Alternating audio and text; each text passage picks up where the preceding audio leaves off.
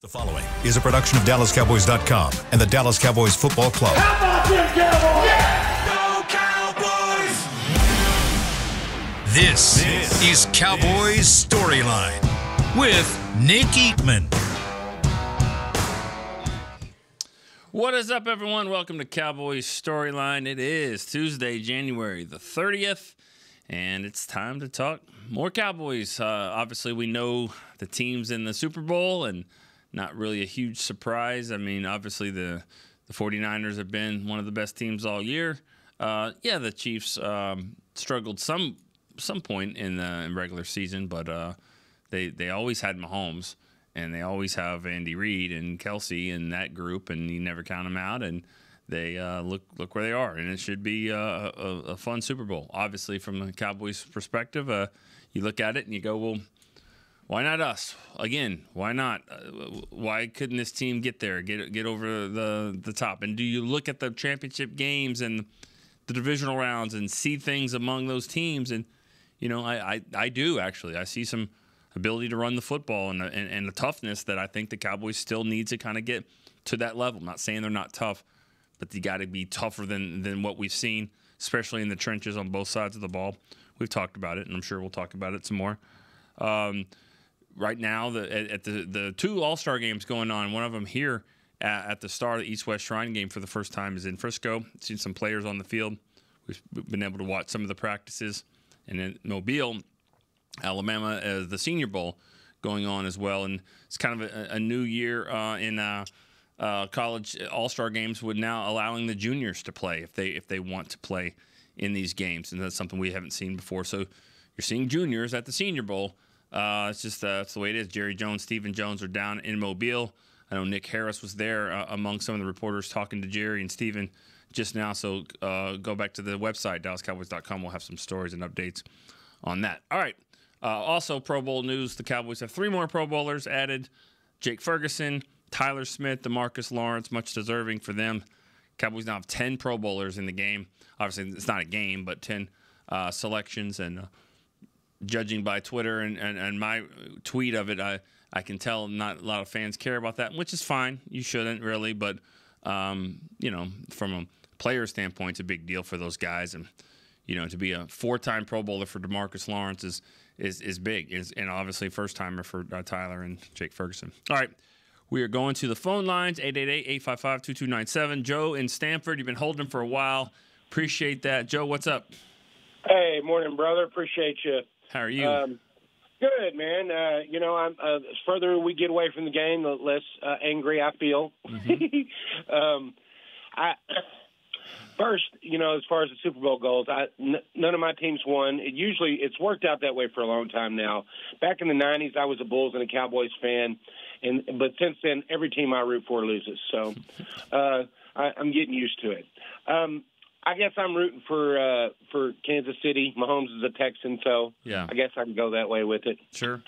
Um, two things, real quick. I won't be as long as I was last time. Um, first, um, do you think Trey Lance is going to be our backup? Do you think the Cowboys actually have a plan for his future to be with the Cowboys?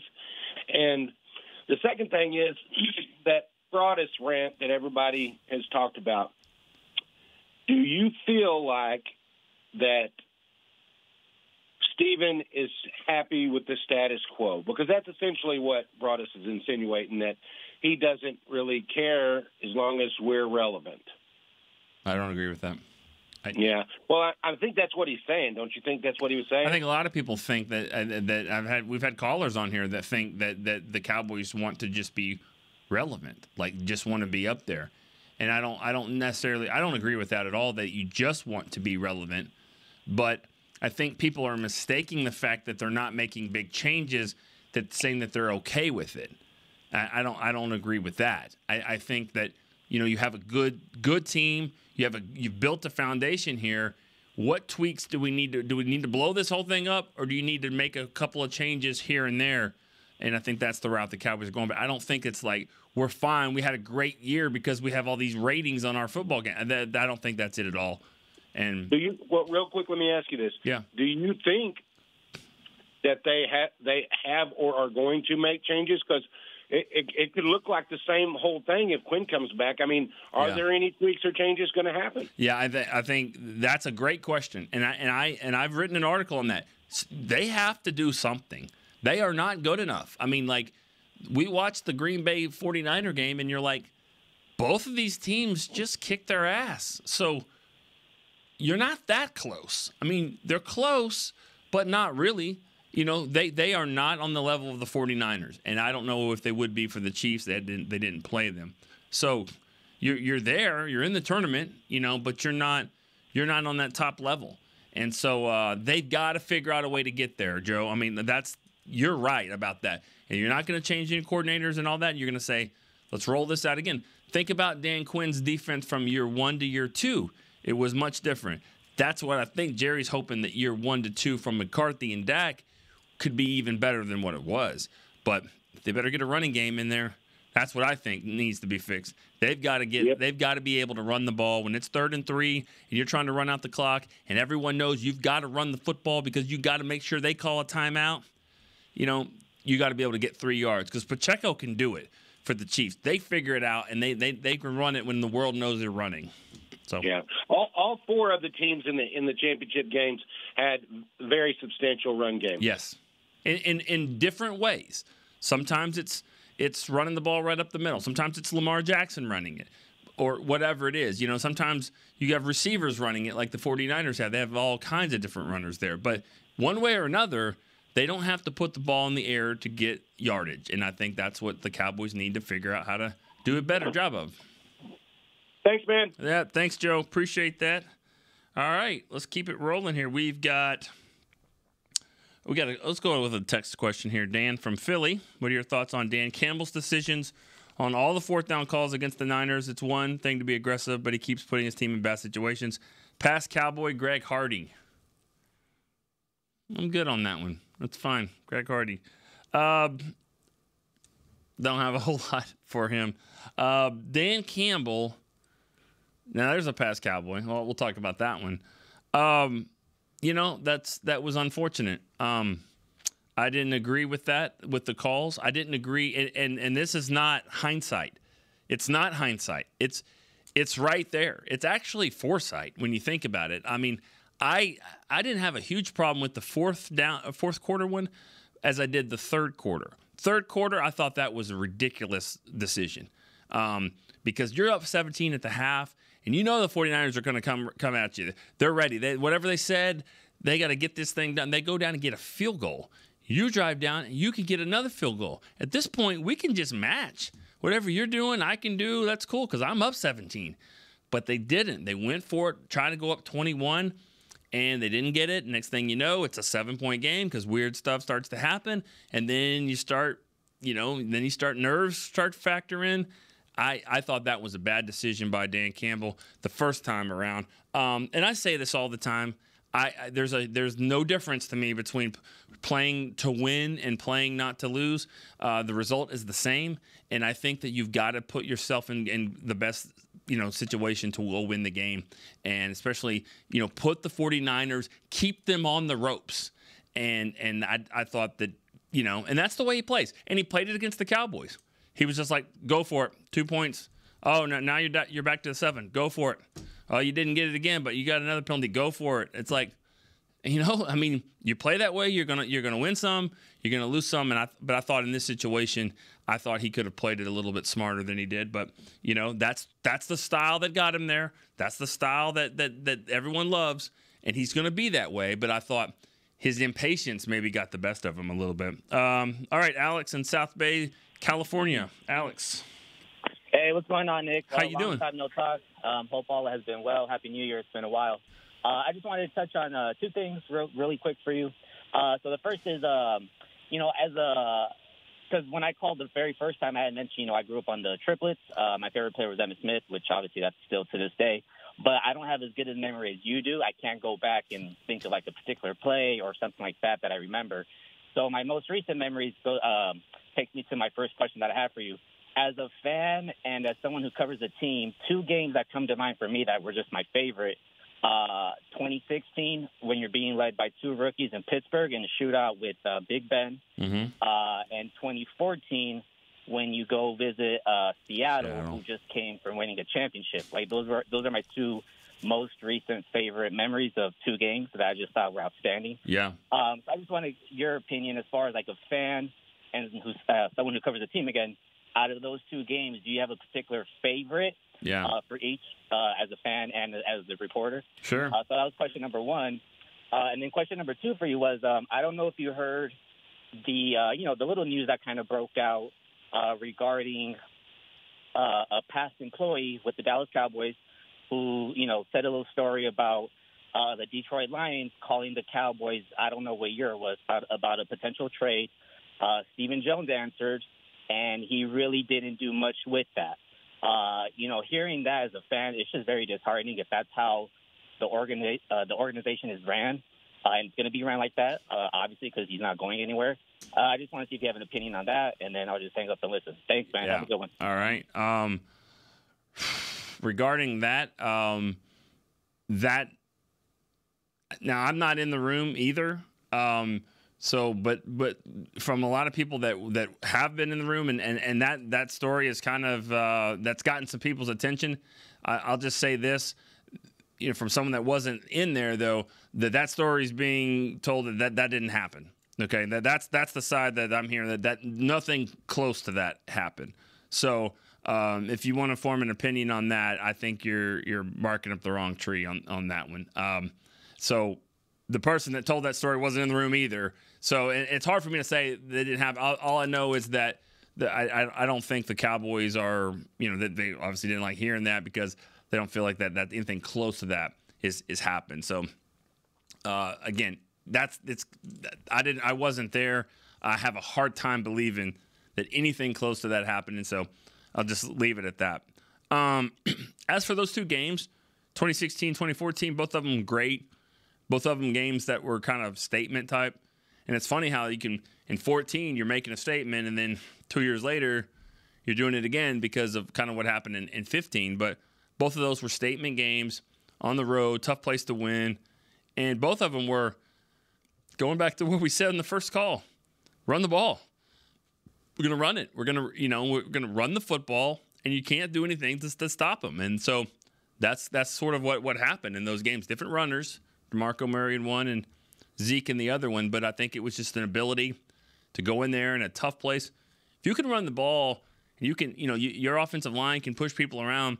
Doesn't really matter if it's if it's on the road or grass and indoors, turf. Doesn't really matter. You can do it. You know, so I think that's one of those situations where the Cowboys, those two games, were just it was just a toughness, grit. Go up there and, and, and go take it. Both of them were really fun and enjoyable to be right there for it. So good good stuff there. All right, let's go to Rob in Vegas is our next caller. Hey, Nick. Hey Rob. You know, that, watching that uh, Ravens game, I thought I was looking at the Cowboys. I mean, you you saw a team that was undisciplined, uh, making stupid penalties, and Lamar Prescott. You know, he, he's the same guy. Him and Dak. It's amazing how Really? good both. The same Yeah. guy? Well, in the playoffs, he's two and four, and Dak's two and five. And what I mean by that is, these are two really good quarterbacks Yeah. in the regular season. But when you get them in the playoffs, they don't even resemble each, you know, what they do. Lamar, for some reason, thought he was going to go toe to toe with Patrick Mahomes throwing the ball, and I, I don't understand why. His best attribute is running and moving, and and he he just wasn't doing that enough. And the turnovers. I mean, we see that with Dak. It's it's the turnovers that always kill each of those quarterbacks in the playoffs. And uh, but Lamar will never get you know take the heat like Dak will. No. Uh, talking about Dallas, are they going to do anything big? No. You know how Jerry's going to spin this. Jerry's going to turn around and say, "Well, we got Diggs coming back. We got Overshown going to come back. Mazi should be better. Mike McCarthy, the offense should be better in the second year." That's how he's going to spin it. He's not going to go after a Chris Jones from Kansas City or Patrick Queen from the Ravens. He's not going to do those moves. He should, if he really thinks he's close Yeah. and he's staying. He's going to sign Dak to uh, fifty something million. And if Dan Quinn comes back, you need to make some moves. I agree. Not for the not so much for the fans because unfortunately, guys like us who and women like us that are on the show, we're going to watch regardless if we're four and twelve of thirty. You know, we're going to be there. But if you truly believe that you're in the same class as the 49ers, the Eagles, whoever, and you're only a player or two away, and we see what plays their way. They need defensive line and they need linebackers on the defense. And on the offense, you do need a running back, but you need a, a, a bigger, stronger offensive line, maybe center. If you truly believe that's all you're missing, well, there's a lot of good guys. You got the guy in Washington. I would love for him to make a move for Allen. You're going to have to spend some money. Uh, I don't see them moving Micah Parsons to middle linebacker, which that would be the best move to do, but I don't see it. We already discussed that. So, yeah. but that, but unfortunately, I just see. That, I think that's how Jerry's going to spit it. Now, I don't know about the Stephen Jones thing. I hope he doesn't become like the Steinbrenner family uh, when uh, Mr. Steinbrenner passed away. The Yankees fell apart because the kids never had to put in the the blood, sweat, and tears like Mr. Steinbrenner did, and like Mr. Jones did. You know, yeah. he, he bought the team, and let's face it, it's it's good to be a Jones. I mean, the grandsons, the sons, the daughters. Here you go. You're a multi-billionaire from the womb. I mean, that's an awesome thing. They're not as hungry as the father, and it could go two ways. But but do Maybe. you know that? Hold on. But do you know that? I mean, do you really I, well, know who's hungry and who isn't? I mean, like I, that, that's that's predominantly t- predominantly yes, yes. Just it's just a natural thing. You see it with Jerry. Jerry made two coaching moves that were unconventional. Jimmy, because I just had invested 140 million, I needed a return. As soon as he got the return, Jimmy was gone because I didn't want to put up with the crap. Bill Parcells, I needed a new stadium, and Dave Campo was not getting that. After that, it was more about being comfortable. We talked about it. He hired coaches that no, had no business. Jerry wanted it, but these there's no way that his kids could be as hungry as Jerry. The team is worth 11 billion, the richest sports team in the world, and hasn't won anything in 30 years. So what? What? How bad is life? How bad is things? That's why Jerry and unfortunately the kids always say, "Dad, things aren't so bad. Let's not blow it up. Let's not make the move." I would love to be in a fly in the room and hear Jerry say, "I think we should do this." No, Dad, I don't think that's a good move. You know, we are twelve or five because they they they're not invested like Jerry. I'm not saying they don't want to win, but it's just natural. It's just natural that these they never had to go through the hard times. Yeah. So okay, I just I just think that's part of the problem with this with the with the whole system of the Dallas Cowboys is it's like you're a parent. You know, your wife says to the kid, "You're going to bed. Uh, you're not playing video games," and then he comes to you and you say, "Ah, come on, you can go play for that." That that that that's how the Cowboys are. All right. And all right. I, I mean, I, that's hard to say because I, I, I, don't. I mean, you can go off perceptions on what you think, but I, I, I think this. I can't. I can't sit here and say that they're not hungry to win. Um, I think Jerry's. No, no. I'm, I'm not saying they're not hungry, but they're not as hungry as somebody else. They're not as hungry as as, as Jerry, Jerry Jones. was when he bought the team. There's a lot of and, people that aren't as fill in the blank as Jerry, in a lot of I know, ways. But, but but let's face it, Jerry should have fired himself from GM 20 years ago, and he probably would have if it was if we were talking about yeah. the pizza places he owned or something else. But let's face it, he wants this is his fun, this is his excitement, this is his radio show, this is his. I get on the microphone. Jerry would rather be a a GM that doesn't win a Super Bowl than an owner who just sits up in the box and wins. If they said to Jerry, "You got to sit in that box," okay. you can't do it. no more TV. I get it. I get it. Win a Super Bowl. Rob, say no. That's fine, and and we got to move to another callers. But I'll, I'll, I will say this though: there's not a GM in the world going to get fired off this off this last season, right? You're not going to do that. You're not going to fire the GM. So all this, I think a lot of times people like to to blame Jerry just because he's the common denominator for 28 years and all that stuff, but then say that you know, this team had all this talent. Well, I mean, he's he's the GM. There's he's put a, there's a lot of I mean a lot of records were broken, a lot of Pro Bowlers. No, that didn't lead to success in the playoffs, and I get that, but I don't think it was a GM problem right now. Um, so there's a lot of issues, a lot of stuff going on, but it's it's I think that sometimes there's a moving target on what people are are complaining about. Uh, this is a good football team, but they've got to figure out how to make it great because when they play against other really good teams, it didn't stack up as well. We all know that. We all see that. But I, I don't think this is this is a, a, a, matter of being hungry or not hungry enough and whatever. You like being relevant. I don't I don't believe in that. I don't this they they built a really good team, but they still got a ways to go to be playing football in, in February, and we haven't seen that. All right, let's go to Katya in Russia. Is that right? Yes. How are you I'm doing? From Russia. I'm doing fine, and I'm uh, so happy that you're taking my call. Thank Yeah. you. Um, it's my first time when I'm calling, and Yeah. I I wanted to express some emotions about uh, how it is to be a fan from uh, from Russia. It's not easy, and it's not that easy because mostly games are playing at night when it's night here and after midnight. And usually I have to work, go to work after that. Yeah. Uh, so because of time difference. How how did you become a Cowboy fan? And and like, have you always lived there, or, or Uh, I'm always l- lived in Russia, and I became a fan because of my boyfriend. I'm in a distant relationship, uh, um, and my boyfriend uh, from Texas, Okay. and he was busy each Sunday, and I was curious what he's doing, and I decided to watch um, football. wow? Now that now that's a long distance relationship. Okay, like I mean, Texas to Russia. Yeah, that's that qualifies as long distance. Wow. So what do you think of the team? What, what's what's going on? What what are your thoughts there?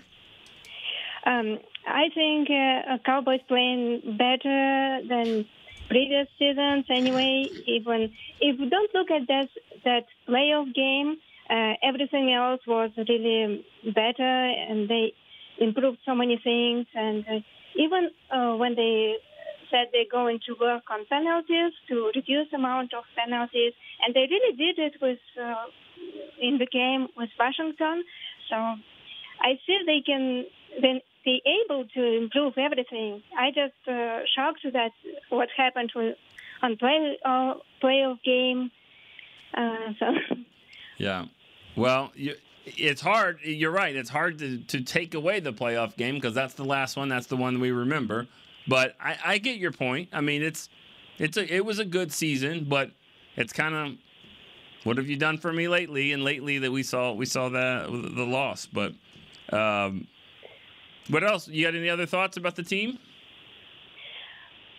uh, I really believe in Cowboys. I know they can play better, and uh, um, I expect uh, that something impressive will happen next season. So I'm I'm just uh, staying positive and optimistic.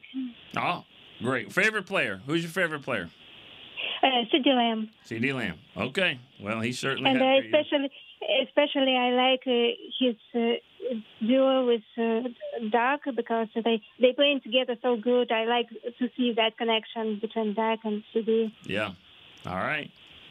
All right. Well, thanks. Thank you for the call. Okay, yeah, I was gonna say, Chris, can we get a here we go? Because I mean, this is certainly a first time caller, first time caller uh, from Russia, for sure. So, well, thank you so much for calling, and I, you know, I say it all the time. Appreciate anybody overseas and the dedication it takes to be a Cowboy fan. It's hard enough being in Texas, but I, I can't imagine being uh, in, in Russia and uh, the time difference and all that. But we definitely appreciate it. Mm, thank you. Thank you. Have a nice day or evening, midnight. I don't know what time it is there. That's pretty awesome. Uh, Katya from Russia with the call, and it's interesting. You know, she says it's like it's like she just wants to put the playoff game out. You know, it's like Dak and CeeDee they have such a great connection. Well, except for the playoff game where, where they didn't, and they had such a great season, except for the playoff game when they when they didn't. But um, anyways, that was a, that was a nice call. Let me get. got a couple of text questions that I've been up here. I need to, to read. Kevin from Virginia. I've read a couple articles saying Zack Martin contemplating retirement. Have you heard anything from that inside the Star? Also, when are you allowed to talk about other teams pending free agents? After the Super Bowl, new league year, I'd like to ask questions about free agency, uh, but be respectful towards the process. Don't get you in trouble. Thank you. Appreciate that, Kevin from Virginia.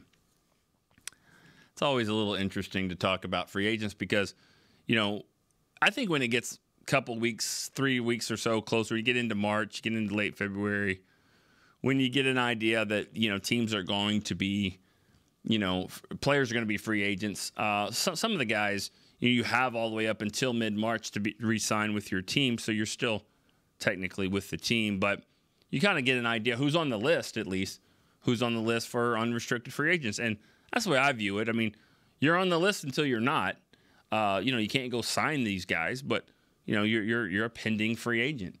Um, and I think that's I don't think that I think we can sit and talk about that kind of stuff and you know just know knowing that you know anything can happen when you get up until um, till the middle of March. So uh, as for Zack Martin, I have not heard that. Uh, I know he's not uh, playing in the in the Pro Bowl. Uh, he opted out of that. I think uh, I think his wife's expecting uh, they're expect, expecting another child. So that that's one of the reasons. And also, I think he knew that that Tyler Smith was the next alternate. So by him not going to the Pro Bowl, Tyler Smith gets to do that. And um, so, but I, I don't think no, I, I don't think he's contemplating retirement. I, I, I, think he was thinking about his future, and I think if he would have done, if he really was thinking that way, I don't think he would have done that uh, um, back in training camp. You know, holding out like he did, and you know, wanting a little bit more money. I, I don't think he would have done that if he was just one year away from from calling it quits, unless something happened this year. But I just don't. I haven't heard that and get the sense of that. He, he was talking after the game about what they need to do to get better next season and stuff. So I, I don't b- believe that that is the case uh, there. All right, let's go to Trey in Virginia. Woo! I, I can hear you, Nick. Can you hear me? Yeah, man, what's up? Oh man, I'm I'm I'm hyped to be online with you right now. First time. First time caller.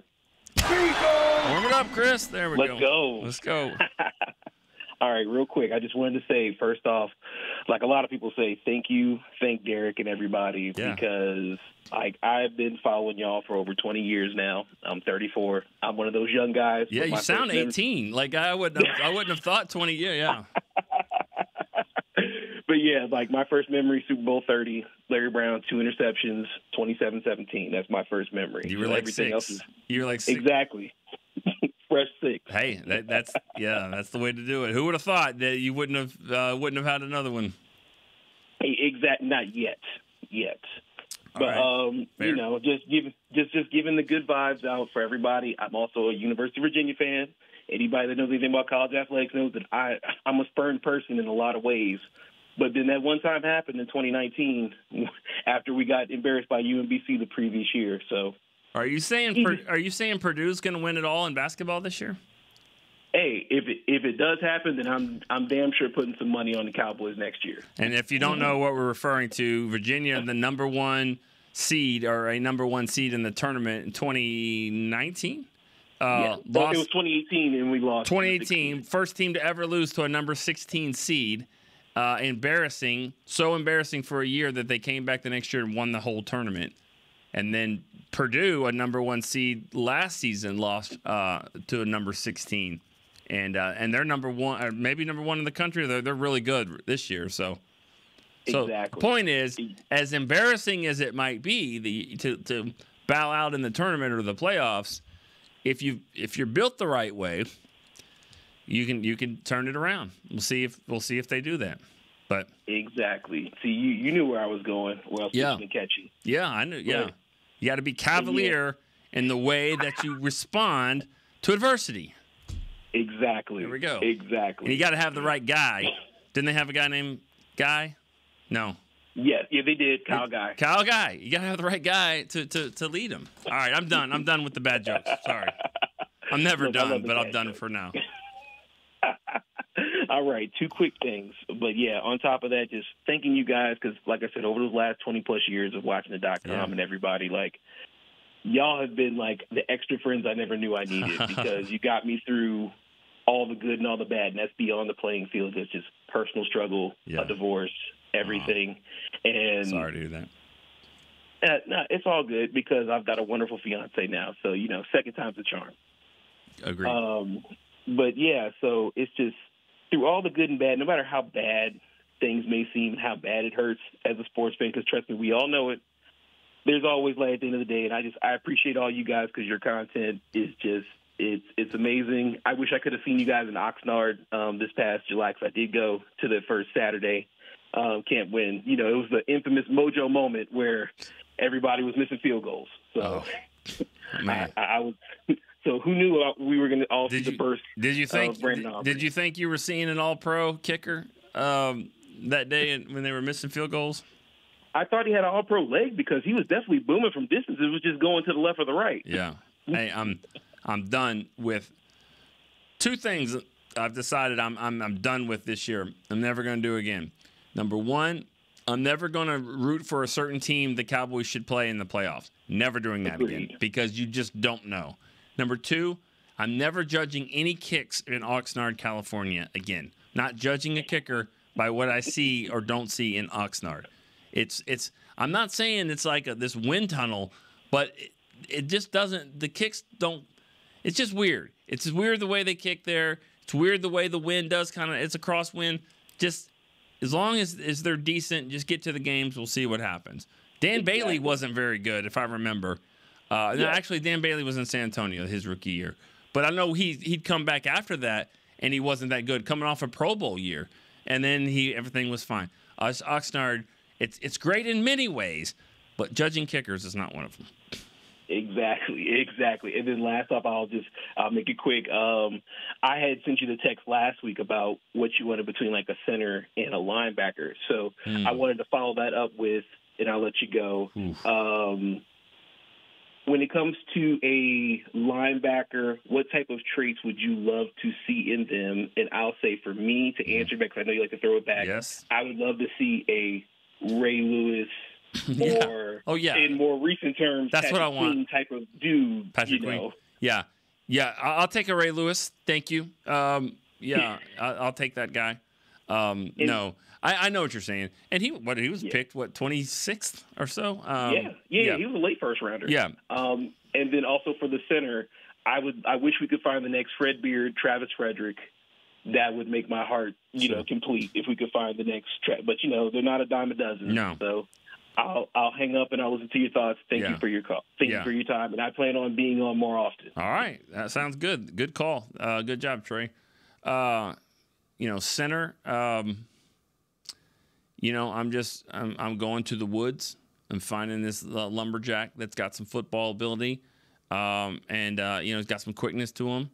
Strong as an ox. That's one. That's guy I want. And I'm obviously joking, but but you just need that tough bouncer type type guy.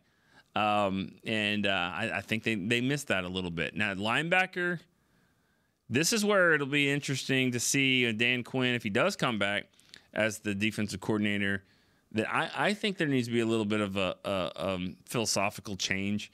Um, I, I'm looking more of a run hit type linebacker that, that fills the gap more than than okay, so maybe his 40 time wasn't the best.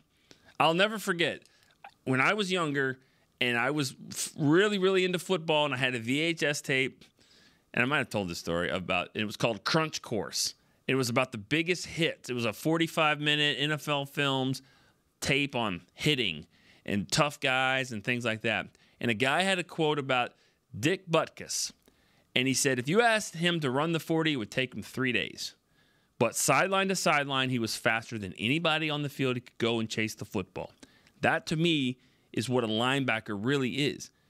In in in sweatpants or spandex in, in, in Indianapolis running the 40 and he's runs a 475 and everyone's like, oh, not, not very good. Okay, put him on the field, let him go get the football and see what happens. And I think sometimes, I think from a linebacker position, especially with this team, there needs to be a little bit more focus on running into the into the hole, into the gap, filling that, and making the play, making the hit, and taking on a guard eight yards down the field and getting rid of him and go into making the play. That's something I think the Cowboys miss a little bit from the position. And I thought they were they were getting that with Damone Clark, and maybe he can develop into that. But there's there's some you know there's some things that this team needs to get better at linebacker, and that's the kind of linebacker I'm looking at. All right, Kyle from East Brunswick, New Jersey. He says if this is the year to go all in, and they're bringing everyone back, would you rather sign the top defensive tackle or linebacker in free agency? Mm, well, the top, it's a different question because I think the top defensive tackles are like all pros. You know, there's some of those guys out there. I don't know if there's top linebackers that are that are that way. So it's probably going to make more sense if they if they get the top linebacker because I think I think from what the cost is. Um, but either way, if they have an ability to stop the run, that's the guy that I'm I'm looking for.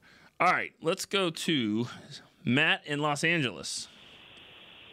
What's up? Uh, it's my second time calling in. I All was right. the one last week talking about Dak and the sports psychologist. Okay. And that's not a knock on him, by the way, at all. Yeah. Like I wasn't trying to. No, I I, I didn't think so. I mean, I yeah, I no, I, I didn't think so.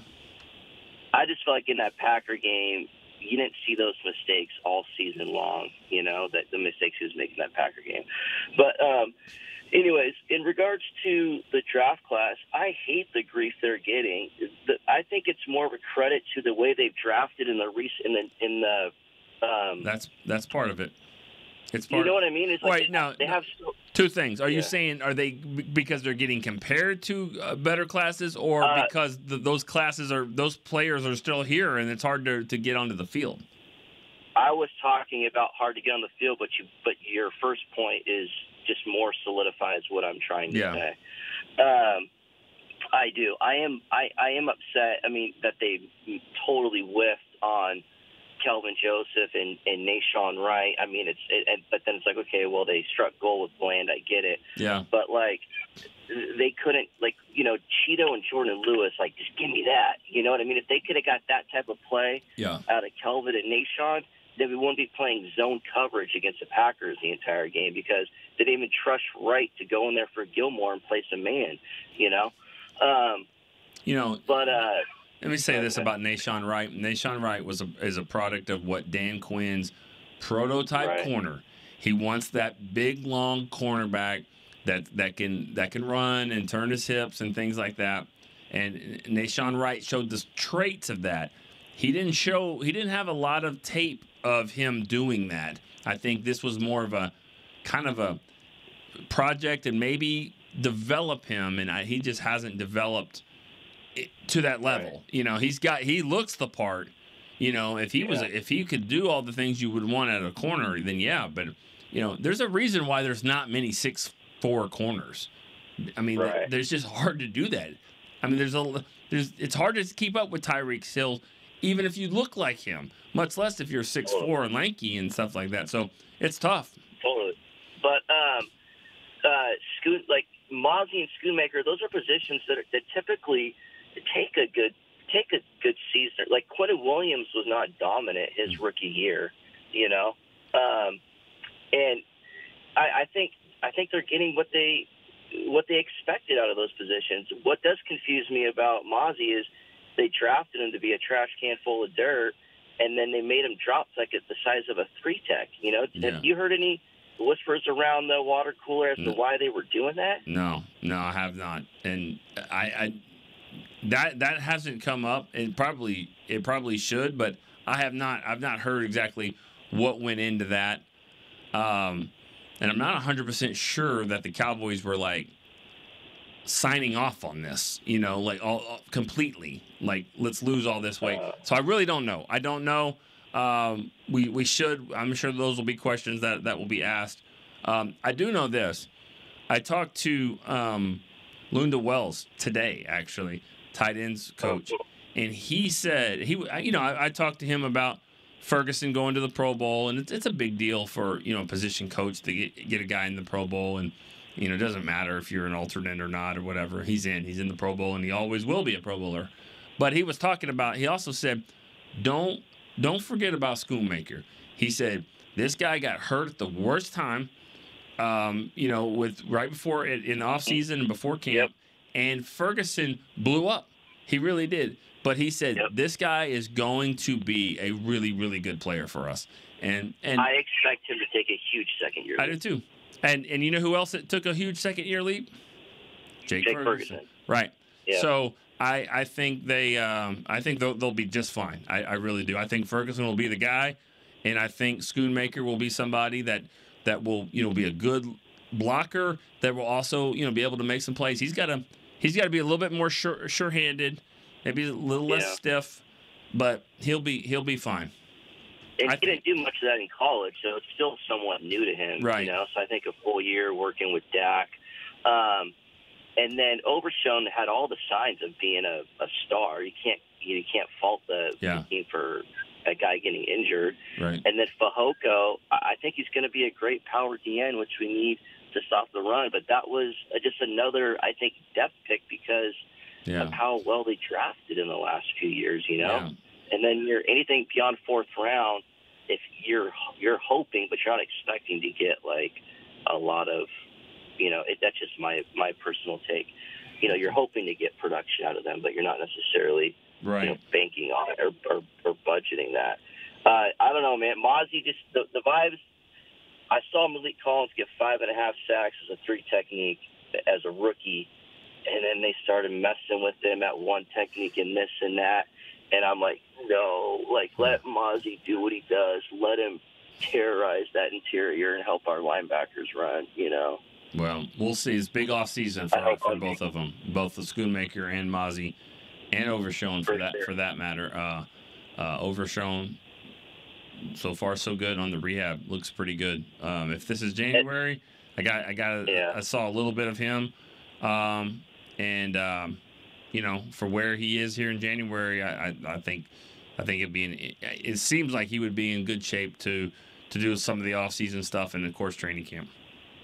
All right, For Matt. sure. Thanks for the call. thank you. Good stuff. Yep. All right. Uh, how about? Uh, I'm trying to. Who is this text message from here? Um, this is oh Anthony. Anthony in Miami. Actually, Anthony in Miami was our first caller. Uh, had a little bit of uh, difficulties um, technically at first, uh, and so he he couldn't hang on with us. But uh, he said he'll be there. Um, he said, I'm still the number one caller. Oh, he said, I'll still be the number one caller. Have a great show. Sorry. Um, Anthony, appreciate that. Um, sorry it didn't work out, but um, always always a good caller for sure. How about Chris in San Angelo, Texas? Hello, Nick. How you doing, buddy? Good, Chris. How are you? I'm doing well. First off, I'll say the the listening to the caller from Russia that was delightful. I loved that. It it was And- awesome. Yeah, that that, that was that was amazing. I mean, especially the story. You know, she's like, Yeah. "What are you doing? You never call me between twelve and three on a Sunday. What's going on here? Exactly. Who are these cowboys?" Yeah. I know. I was like, wow. I don't know if I can follow that, but anyway. yeah, yeah, hard hard to follow that for sure. But what? Is, all, and I- is Go ahead, do you sir. think San Angelo, Texas, is is like Russia? Because I think there would be different. goodness, we yeah, polar opposites. It's like, yeah, but They I didn't mean, they I didn't lo- film Rocky Four in San Angelo. Is that what you're telling me? There was no, no, there was no Drago in, in San Angelo. They actually didn't film it in Russia either. I think it was in it was in Montana, but whatever. It's Montana. Hey, All right, you know, little things, little sure. things. Chris, what's up? Um, okay, look, I just had a, I had a couple of questions. Uh, first off, as far as the uh, the draft goes, where are you as far as let's just say round one, round two? Who you picking round one and round two, position wise, not people. I don't expect you to know that. Yeah, well, and then okay, go ahead. Oh no, no. My other one was uh, as far as our free agents are. I was going to keep it kind of the same. Um, which two? If you could only keep two, who are you keeping? And then that's basically Okay, and that's from an unrestricted standpoint, exactly exactly Mm. re-signing. oof, it's a good one. Um, okay, well, well, who who are your two? Um, my two, or I'm thinking. Oh gosh, you had to ask me that. Okay, the guy I'm thinking Hankins and um, I like the defensive end, Like Fowler or uh, or Dorance Armstrong. Dorance Armstrong. Sorry. Okay. Thank you for keep. I had those two in mind, but I wasn't ready to answer that. Yeah, that's okay. That's okay. Um, thank you for the call. Um, I like it was Hankins and Dorance. Hankins yes. and Dorance. Um, I'm fine with that. I think that would be good. Thanks. Um, you know, I would like to see.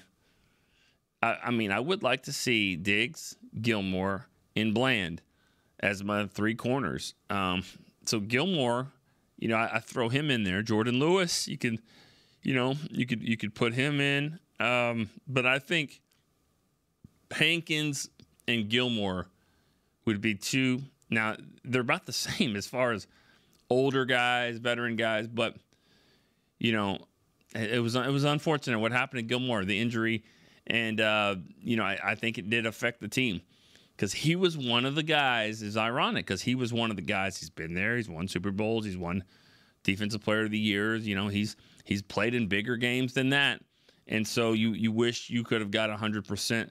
You know him health wise, and you know Diggs as as well, and then now you've got Bland, and so um, I, I that would be that would be something that would be intriguing for me.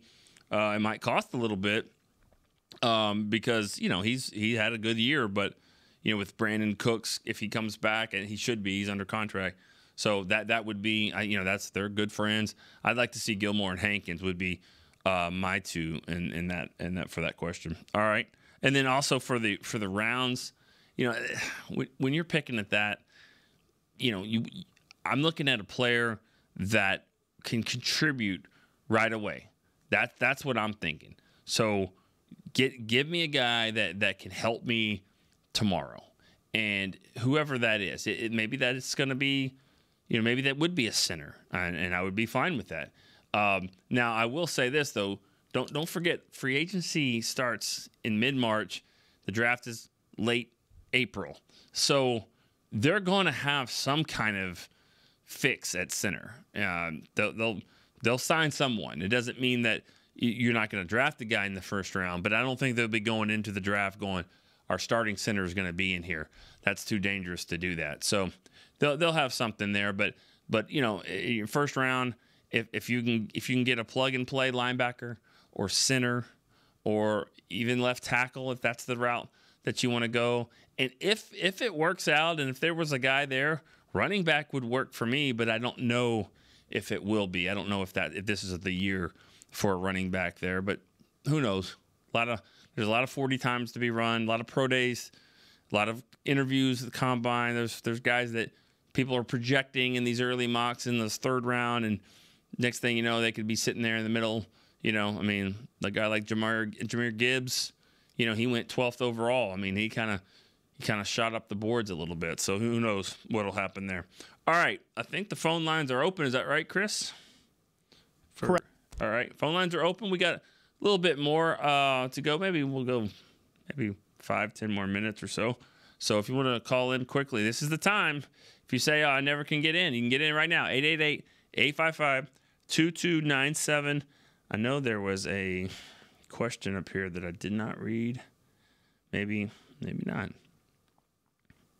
All right. Um, but uh, you know, going back at one of the the questions about um, about the about the Lions game, and you know, just it's easy to sit and, and do that. You know, with talk about Dan Campbell should have done this and should have done that. I mean, I, I'll I'll say this though about about what he's done for that team is he's brought a mentality, and this is not easy to do when you're the when you're the coach of the Lions who have never won, and and so to change the culture, change the attitude and the belief of hey we can go win. I mean that that's impressive. Yeah, and I, I said I, I thought they were a little too aggressive. Um, I thought he was in, in the decision making, but that mindset is not easy to just turn on and off. It isn't. And so, not trying to be hypocritical, but I'm saying you got to be you got to be fair. You can't just sit here and say, "Well," and I did it. You know, you can't do it all the time, but that's who he is. That's who Dan Campbell is. That's who the Lions are now, and that's the belief, and that's kind of what got him there. So, um, it, it's fair to criticize that moment, and maybe it's a learning thing for him and for all coaches, you know, and McCarthy did it a couple times too. It's a belief in your team. We, we yeah, we could run the ball and have to kick a field goal and all that, but if I just if Dak just hits CeeDee right here, game's over.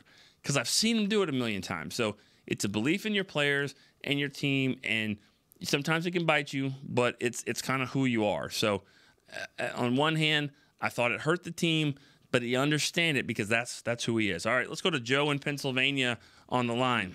Joe, what's up? Hey Nick, want to run something by you? Sure. See what you thought. When I look at um, how teams are built and where they gain advantages, um, it's obviously not in salary cap or practice time because those are set for all the teams. So then you have to look to coaching. And I think when you look, you know, objectively at Cowboys coaches, you got McCarthy who won a Super Bowl, you got Quinn who's been to a Super Bowl as a head coach. I think you'd say overall we've got good coaching. Then you have to yeah. look at talent talent acquisition. I think Jerry, Stephen, and Will has done a good job at uh, bringing in talent. And you know, even though you may say our talent may be slightly overrated just because we're on TV a lot and everything, I still think we've had good teams over the years.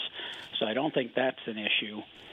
And so what it falls to to me is what the players do on their own because that is the great unknown. Like we have no idea how much film study they do on their own after practice.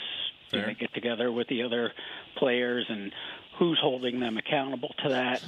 And to me, I think that's kind of where Jerry comes back into play, and it's not not the not the talent acquisition part because I think he does well there, but I think by kind of not giving the head coach more ability to discipline players, I think that's that's where we're lacking because rarely do you see any of our players get benched. You don't see Sam Williams get benched off the punt return yeah. punt team.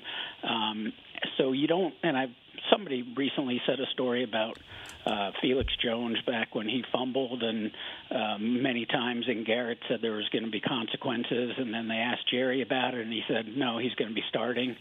so it's like when you have that where yeah. your coach can't discipline when he sees problems on the team I think that's where, like, you know, you look at certain players like Sean Lee, and he obviously did all the film study on his own, and you could see that show up on the field. Um, today's team, I see that with Demarcus Lawrence. I can see him doing that. Mm-hmm. Um, but other players, I don't see that showing up. And obviously, you know, we have no way of knowing how much they're studying on the side. But it seems like that to me is where we're lacking the most. And I don't know how you quantify that or how you make that better other than giving the head coach who sees you know sees everything more ability to discipline the players and and hold them accountable. Yeah. Well, that I mean that's that's kind of going down a, a line that it, it is hard to quantify, like you said. Um, but I'm not going to tell you that you're wrong because I wouldn't know. And you're right you're trying you're trying to put your finger on something, and that's you know, and that's I actually appreciate that because it doesn't look like you know it's it's just coaching and the players you know good enough all that. Like what else is there? And so maybe that could be the case. It really it really could be. Um, I, I I don't have a great answer for you. I, I, I like like I said I like I like where where you're going with that. And uh, and we don't know. We don't know who's studying what here and there. But um, you know, Sean Lee, it's a good example, but it's also a bad example because there's not many like Sean Lee. Because Sean Lee, I'll tell you a story about him. I tried to do an interview with him about something right before his first game. It was on the train going to San Diego, and he wanted no part of it because it was a preseason game. He was focused. He had his book out. He was studying. He was all about this. These 12 snaps that he's going to play in this preseason game. It was all about business. He was that way from the start. And I'm telling you, that's it's not like he got that later on in his career when he realized, man, I got to be more of a studier. He was that way coming in. So there, that's a good example, but at the same time, there's just not many like Sean Lee. So you would have hoped that some of these younger players kind of would have, you know, developed those skills a little bit more, but I, I don't know if they are, honestly. All right. I think so. Oh, sorry, still there. What's up, Joe? Joe? I cut him off. Cut him off. Oh, okay. Sorry, Joe. I, that was a good. It was a really good thought. It really, it really is. Um, it, those are those things. You know, I always get a little, get a little antsy when we talk about oh, we need more leadership, or you need more heart, you need more character, and you need more. It's it's hard because it's like what what's the level? You know, you don't know that. You know, people people think Amari Cooper doesn't care about football because he's not he's not Odell Beckham and CeeDee and whoever else, you know, jumping around after plays and doing all that. He's just he's not. Doesn't mean he doesn't love football. So it's hard to kind of talk about what kind of person they are. You know, I just watched a football life on Barry Sanders. He never did that at all. He was pretty good, pretty good player. Um, but anyways, uh, all right, let's go to Eric in North Carolina. Probably our last call for the day. Eric, North Carolina. Hey Nick, how are you doing today? Good. How are you? I'm doing great. Uh, um, since it's the off season, I thought we could talk about uh, Cowboys memorabilia. And um, I, I know this show is almost over, but I'd love to hear the usual callers maybe call in next time and tell us like like what kind of cool stuff uh, uh, that they have. Oh yeah. Um, what do you have? But um, I've got three things that that I'm really uh, thrilled about. Um, I have a personalized uh, autographed football from Roger Staubach. Wow. And um, and I have a, uh, I have a letter from Tom Landry that wow. that that uh, I, I, wrote him a letter in, in the '80s when the Cowboys were having a, a particularly poor season, mm-hmm. and um, and I told him and I told him that he was a, a outstanding coach, um, a fine Christian, a gentleman, and a World War II hero. And he wrote me back, and it told and he told me that he really that that, that I really bolstered his morale was his exact words how old were you when you sent this? Um, I was in high school. Wow, good for you I for doing was, that. That's pretty awesome.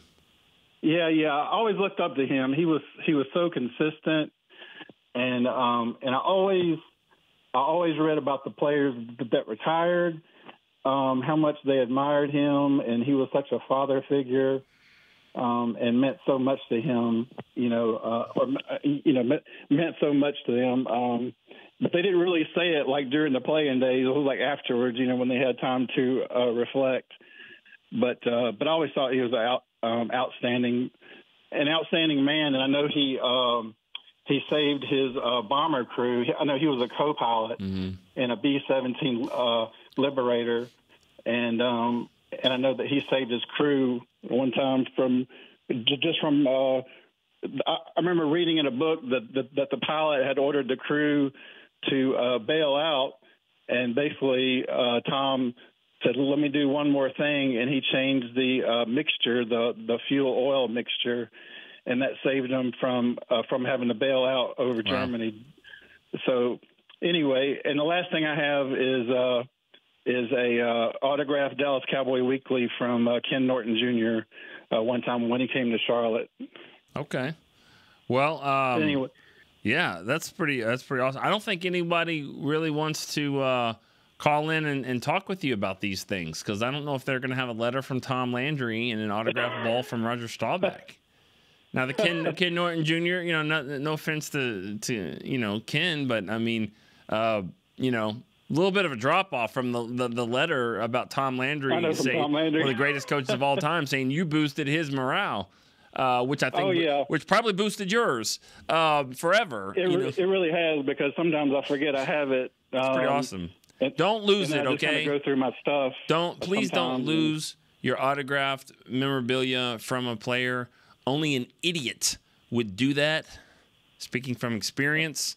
So Uh-oh. yeah, yeah. My dad, I'll tell what you, happened? I'll tell you a story. My dad, he would traveled a lot, and he got an autograph of Tony Dorsett who was my great, who was my favorite player of all time.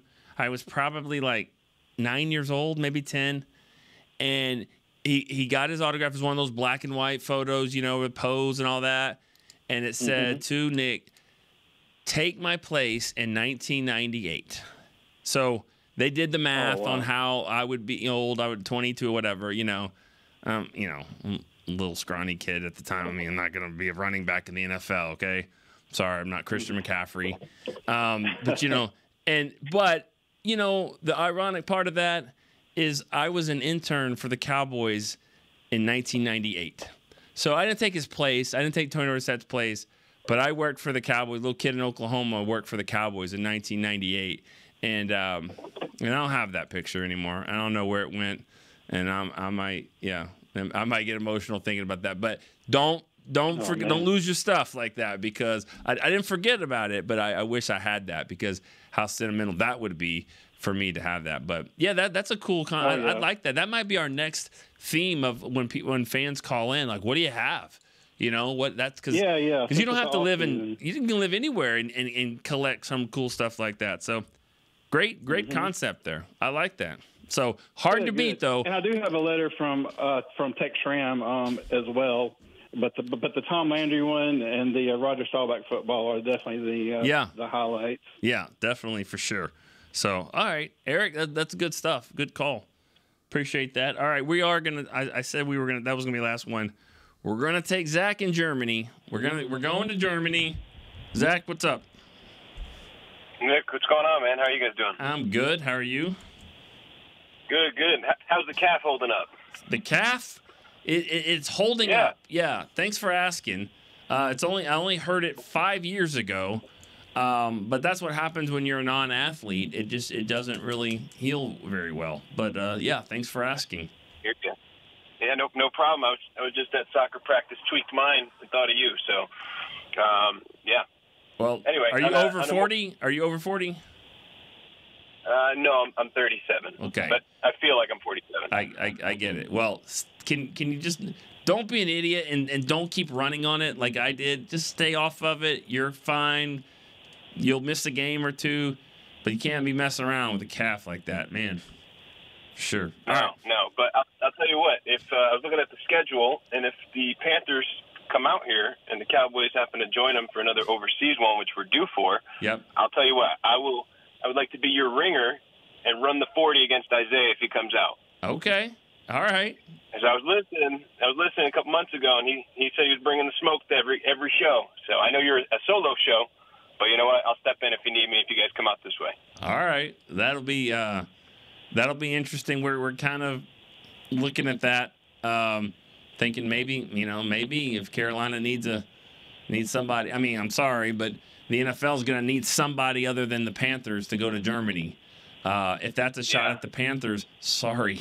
I mean, I'm sorry. I mean, I'm, you, No, no, you live there. Do- You see a lot of Panthers jerseys walking around? Uh, no, no. Well, Now, when I, I went to, I did go to the game um, back in 14 when you guys went to London. I saw every jersey. Yeah, but, yeah. Um, That I'm was- sure a couple. that was a fun game. That was fun uh, walking to the stadium and like, all right, let's play the game here. First one to find a Bucks jersey, and you're like, oh yeah, you're like, sap, you know. Yeah, you can find it. and you find it, yeah. Yeah, it, can was it was pretty cool. Yeah, that's pretty neat. Um, yeah, it was. It was a good time. Good time. Um, on, a, on a more serious note, I wanted to kind of go over some of the, the ideologies I think from our front office's standpoint that might need to change. Right. So when you're looking at some things, and we were, you guys were discussing it not too long ago, the ideology right now is we're going to focus on draft first, sign our own, and and build in, which works to some degree, but it hasn't really worked for us lately. And if you look at some of the mistakes that we've made, uh, this last draft class, we didn't get a lot of production out of, and I get, you know, we had some high hopes for the the third rounder there in towards ACL, and you know, Mazi, you know, unfortunately didn't produce. But you know, some of the other trades they're good, like the fifth rounders to fill in.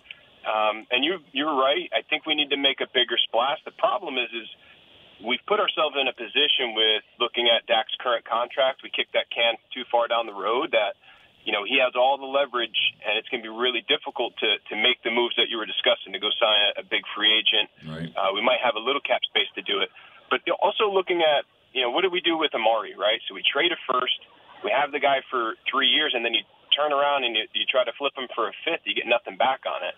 And you know I'm looking at other teams around the, the league. There's four teams that I think have made some big moves, and it, the Cowboys we've wanted to stay relevant, which is good, right? And and I think we've had a good teams, and you're trying to build around that.